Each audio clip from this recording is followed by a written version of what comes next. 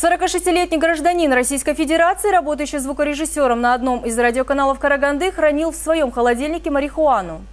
Вдобавок мужчина вводил героин в свой организм внутривенно. Незадачливого звукорежиссера задержали сотрудники отдела по борьбе с наркобизнесом УВД города. Ими же был проведен обыск не только квартиры задержанного, но и рабочего места. Там были обнаружены и изъяты использованные шприцы и ампулы. Сейчас мужчина задержан и в его отношении ведется уголовное дело.